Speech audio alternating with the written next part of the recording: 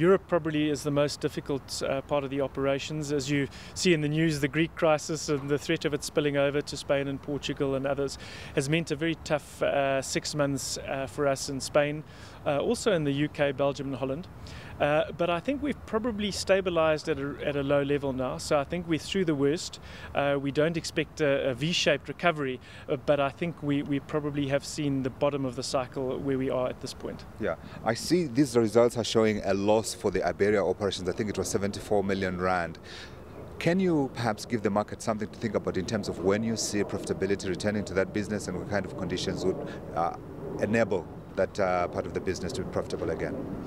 Uh, yes, I mean, we have, uh, you rightly so, incurred a loss in the period, although a chunk of that, about 30 million, relates to redundancy and restructuring costs uh, and, taking out in excess of 300 uh, more people to, to realign the cost base. Uh, looking at the future trends on investment expenditure in Spain, we're not expecting a substantial recovery to around mid 2011. Hmm. And I suppose now, given also the kind of problems that we're seeing, uh, people potentially talking about the possible difficulties for Spain, surely you can't be comfortable. Well, I think we've taken a lot of cost out of the system, and this recent restructure will take a further annualized 8 million euro saving, uh, which is about 80, 90 million rand. So we believe we've got the, the business to a position now where it can break even to be marginally positive, even at current low levels of activity. Yeah. Away from uh, Europe, we're also seeing very difficult trading conditions you talk about in Angola and Southern Africa as a whole. Where is the difficulty, given that we have seen uh, commodity prices uh, rebound from the lows that we saw last year? Yes, I, I think there's two aspects to that question because on the automotive side, I think we've already seen a recovery and their operating profits were up 23%. Uh, where we are still seeing con- uh, continued difficult conditions are in the Caterpillar Equipment Southern Africa business. Um, and I would split that again into two areas. On the mining side, we're already starting to see a recovery on the back of commodity prices having recovered, mm-hmm. but the construction side still remains uh, weak. And I think in South Africa, we saw a big run up uh, to the World Cup. Uh, I think there will be a, a, a short term, uh, a bit of a fall off in, in, construction activity, but I think the medium to long term prospects still remain encouraging. Hmm. What is the problem in Angola though? Uh, in Angola, there have been significant uh, delays in payments to large uh, contracting companies by, by the Angolan government, uh, and that has led to them holding back on their expenditure until such time as, as payments get released.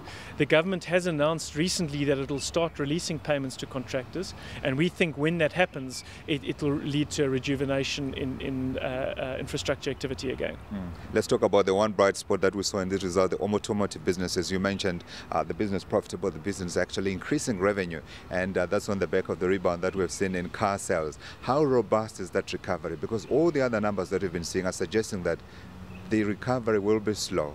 But these numbers are not saying slow. Yes, I think it has been a very good result by the automotive division uh, this six months. Uh, you'll recall that, that new car sales in South Africa have dropped 50% from their peak, but from January this year have started to recover. And the business performed well across all areas. So the motor retail business did well, the Avis car rental business did well, and the fleet services business did well. So I think we, we, we certainly through the worst on the automotive side, and I expect a, continued strong result for the full year. Mm. And what about uh, on the uh, World Cup? We're seeing uh, the World Cup now just less than a month to come, and I suppose Avis should continue doing well on that front. Yes, we, we, we have uh, increased our car rental fleets uh, compared to last March by about 2,000 vehicles, which is about 270 million rands worth of cars, in anticipation of increased activity over the World Cup. And so we are expecting over that uh, that period uh, an uptick in our car rental activity, which should be good for profitability. Mm. If I can just go back to the, uh, the retail side of the motor business. Uh, the last time that we spoke, I think, uh, if I remember correctly, there were difficulties with bank approval for loans. What kind of uh, approval rates are we seeing now, and what kind of rates do you see going forward? Yes, I think we have seen a slight loosening of credit conditions. So the average consumer is finding it marginally easier uh, to, to get access to funding to buy a car. And certainly that's one of the reasons why we've seen an uptick in the new car market since January this year. Hmm. As for the outlook, I mean, the global, the, the, the, the outlook for the global economy is uncertain. I mean, one time people were saying, oh, we've done the, the, the worst of it and uh, things are likely to improve from where we are now. But now, with all the difficulties that we're seeing in Europe, it's beginning to look gloomy a little bit again. From your side, how do you see the outlook, particularly in Europe, where the, the, the troublesome businesses are? Well, I think firstly, on a, on a global basis, 2009, uh, the global economy shrank by, by two percentage points, which was the, the first time that's happened since the Second World War. So it, it was catastrophic. Most uh, forecasters are saying 3 to 3.5% growth this year. So I think there is a, is a turnaround in sentiment, and across most regions, we're seeing it.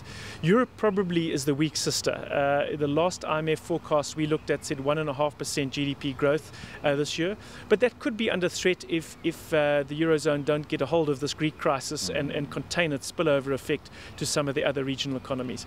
But if they do, I think uh, Europe's growth will be anemic, but it should still be positive for this year. And in Southern Africa? Uh, South Africa is technically out of the recession. We're forecasting two to two and a half percent economic growth for South Africa this year. Yes, uh, conservative, but uh, rather have it that way. Um, and I think outside of South Africa and in the sub-Saharan African countries, probably a bit stronger growth there. And uh, we're well placed for that because of our exposure to mining and infrastructure. Where do you see that growth coming from, though? We do know about the difficulties that you've spoken about in Angola. What about Zambia? What about Mozambique? Are you seeing any kind of traction gaining momentum there? We certainly are. In Mozambique, we've won two very large um, coal mining contracts um, uh, for our Caterpillar business in northern Mozambique, the Vale contract and, and the, the Riversdale uh, contract award. So Mozambique is, is going strongly. There's some rejuvenation of activity in the diamond mines in Botswana. And with the copper price having got almost back to peak levels, we're seeing uh, the Zambian copper belt and the Congo looking much more favorable. Mm, you're not talking about Angola? No, Angola for the, for the time being is weak. Uh, and uh, we expect probably the next six to 12 months uh, will, will, remain uh, a bit tight. But with the oil price having got up to 75, uh, $85 a barrel plus, that's 80, 80, percent of, of Angolan uh, revenues are, are, linked to that. And that means strong foreign currency inflows, which should be good for their, for their future growth. I suppose we can't talk about M&A activity at this juncture. I mean, it's all about bedding down and making sure that the business is operating optimally. Yes, I think through, through a financial crisis, what you've got to focus on is tight expense management and strong cash flows. And again, our, although our, our, our, profits were under pressure this six months, our cash flows were very strong. Uh, and uh, that means that the group balance sheet is strong and uh, we're well placed, uh, we believe, for when the, the recovery eventually comes to our businesses.